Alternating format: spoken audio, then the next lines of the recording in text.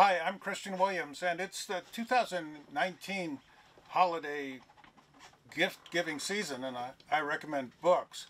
So this year, let's go over a few sailing novels. We've already treated uh, probably the best contemporary uh, novelist of our time, Patrick O'Brian, and I dare not even mention Moby Dick, the great piece of literature that confounds every attempt to compete with it, or even my own book, my own new novel, Rarotonga, which just out a month ago. I'll put uh, those in the description and the links at the end of this video. But, you know, something has changed in the books that we read about sailing in the sea. Um, they're mostly nonfiction now. I think because the adventures that we follow today in the news and on television um, are quite different than they than they were at the heyday of the imaginative story. We, everybody goes uh, off adventuring now with a GoPro camera. Uh, people are quite literate. They keep notes. Uh, in many cases, they are sponsored. And the result is an almost endless stream of true adventure stories. But the nonfiction books that we read by the hundreds leave something out, and that is the imaginative capacity and capability of a novelist taking on the same subjects. And at the turn of the century, nearly 120 years ago, uh, this was the stock and trade of communication, and I have four to recommend. The first is Joseph Conrad's uh, Typhoon, and this uh, this provide this, this book is Typhoon and Other Tales. It also includes several other good short stories. But the story Typhoon has always been a favorite of mine. It's about Captain MacWhirr, a rather stolid man, unimaginative, who is the captain of a pretty beat up freighter crossing the China Sea with a cargo of 200 Chinamen, yes, coolies.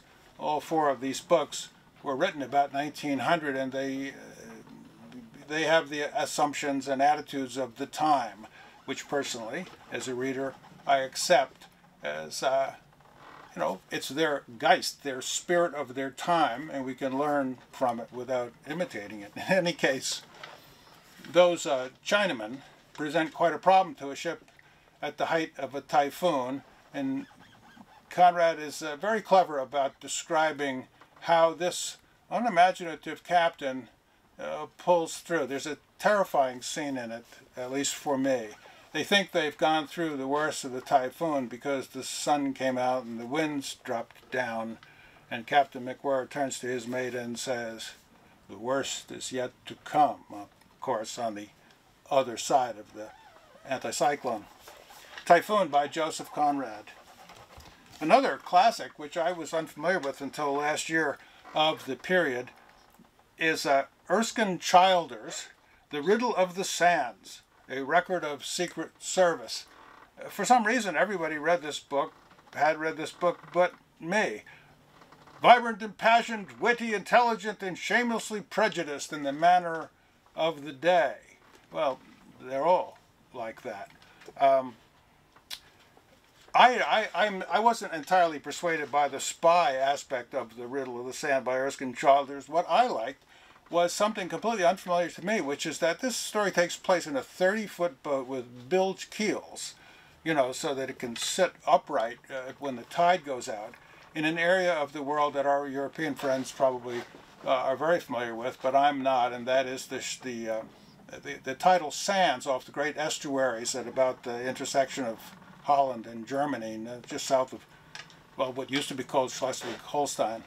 I guess. They're, these big uh, rivers like the Elbe uh, are estuaries and they go into the uh, North Atlantic there and form vast sandbanks that go out 10 miles offshore so that you can anchor 10 miles offshore off the Frisian Islands and when the tide goes out, as this book describes for as far as the eye can see, there are nothing but sandbanks. And you can navigate these channels by if you if you know just where they lay, which just might be important in wartime or so. Uh, Carruthers and Davies, the heroic occupants of this this leaky 30-foot boat, uh, hope to discover uh, for their uh, Secret Service end. Well, Treasure Island by Robert Louis Stevenson is supposed to be a children's book, of course, uh, and uh, there are more children among us than we thought, if that's true, because I reread this last year uh, on a long car trip in which I was alone and was completely charmed once again. You know, this is the introduction to the world um, by Robert Louis Stevenson of Long John Silver, and the story is told through the eyes of young Jim and he happens to come into possession of very important information about the treasure map. And here's how, here's how he does it. By falling into an apple barrel.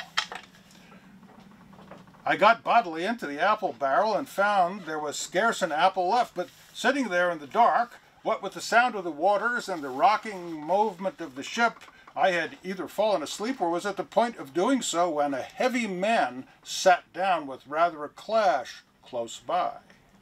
The barrel shook as he leaned his shoulders against it, and I was just about to jump up when the man began to speak.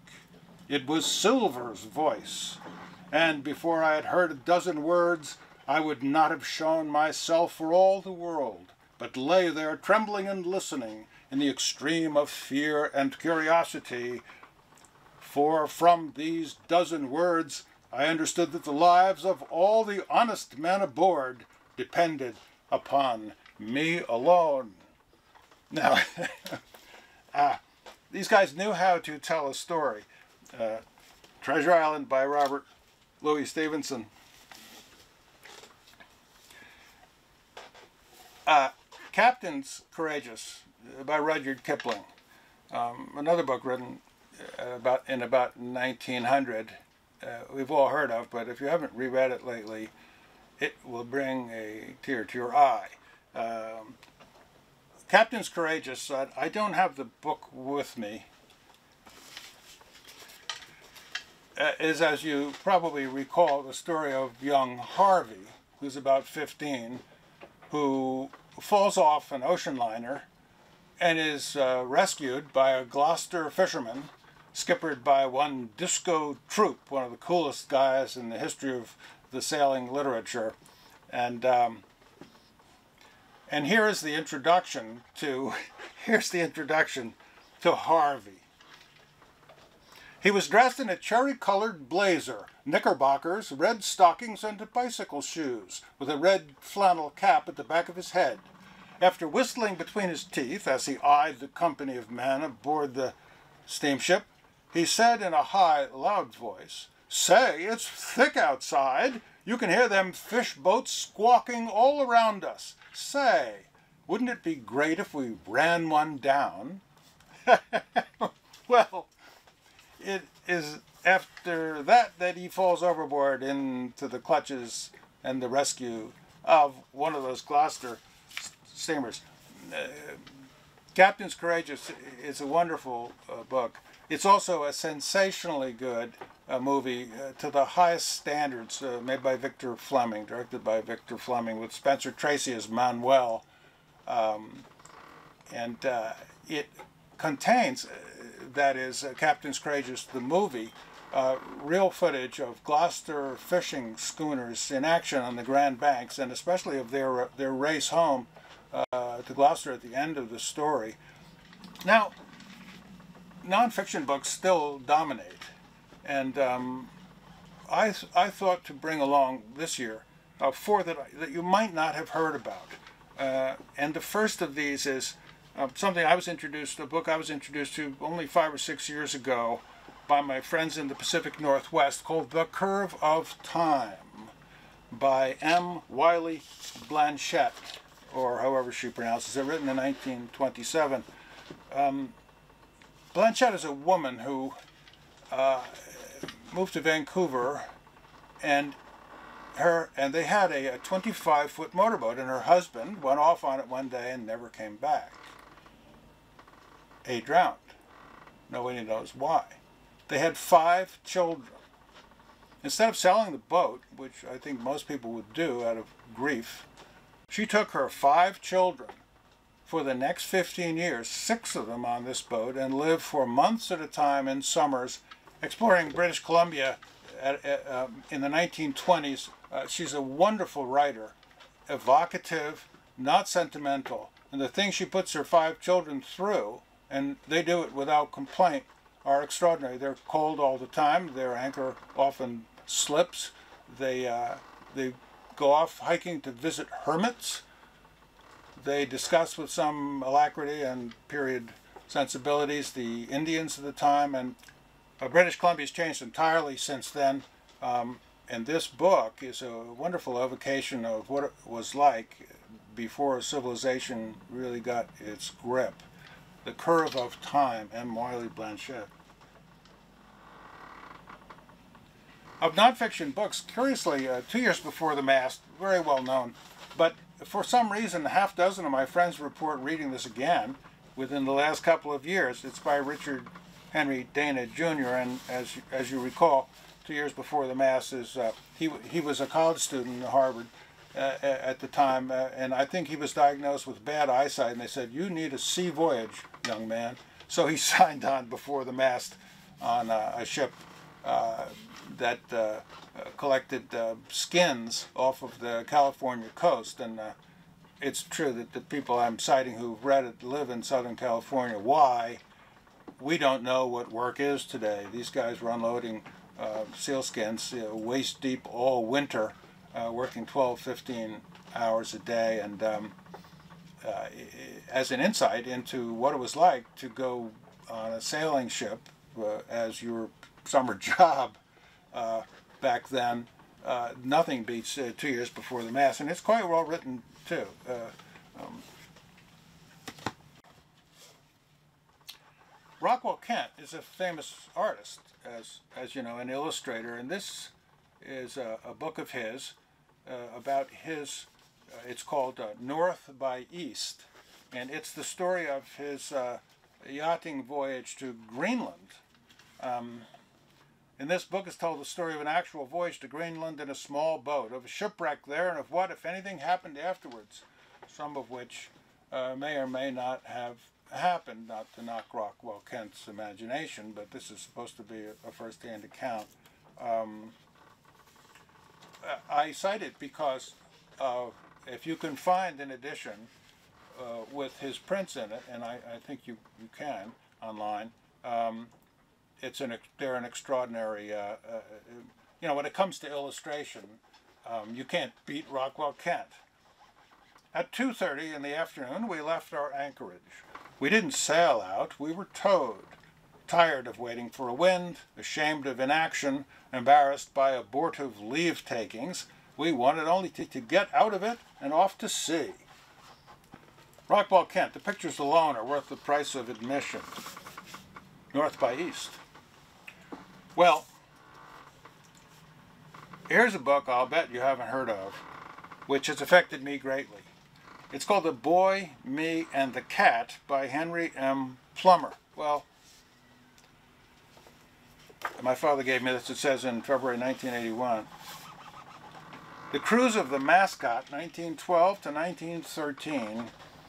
The Mascot is a, a small gaff-rigged catboat that father and son, Henry M. Plummer and Henry M. Plummer Jr., sailed down the intercoastal waterway to Florida. It's written in a delightfully naive style. I think this book was lost for a long time until it, it's, it was recognized for what it is, which is a really good account with a cute, as it were, title, The Boy, Me, and the Cat, um, the cat comes to, well, I won't tell you what happens to the cat. Scotty, I think is his name. What I will tell you is why I can hardly read this book now uh, without uh, extreme emotion. Here's the dedication written in uh, written to a 13 or 14 year old boy. To my companion Henry M. Plummer Jr., who, with unfailing patience, bore with my fretful exactions, and was ever ready to lend a willing hand, who joined me in love for Scotty, and in grief at her death, that's the cat, to this boy who is my joy and my pride.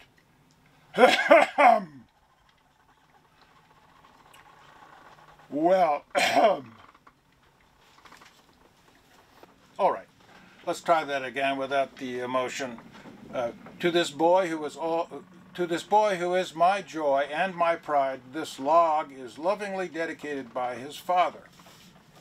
Very nice. The boy, me, and the cat. But some years later, when the book was rediscovered by publishers, the uh, the New Bedford, Massachusetts of May 9th, 1928 reported the following.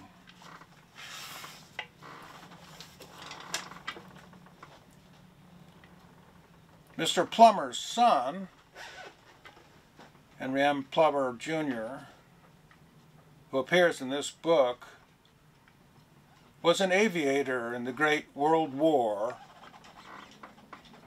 killed in action.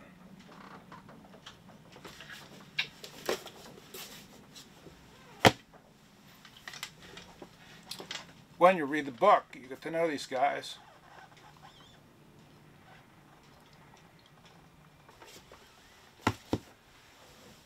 On a lighter note, let's move our perspective worldwide. And from this very bunk here in this very harbor in Southern California, and that we will do. And this is a great gift for anyone who keeps talking about sailing around the world. Jimmy Cornell's World Cruising Routes. This, this book, this book should not be allowed to exist because it tells you how to sail around the world and to anywhere you want to with the directions and even waypoints in the newest edition. And I think that uh, I think that if you give this to somebody, his wife's going to say, George, why are you reading that book about world cruising routes by Jimmy Cornell?